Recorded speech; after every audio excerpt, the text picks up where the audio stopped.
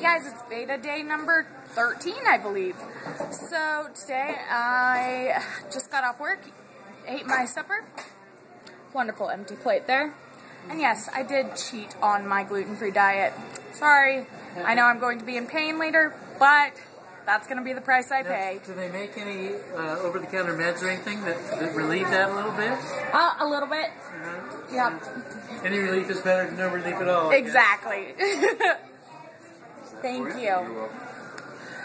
So there's not much really to say today, but I have to vlog every day this month, so I will see you guys tomorrow. Bye guys. Ciao.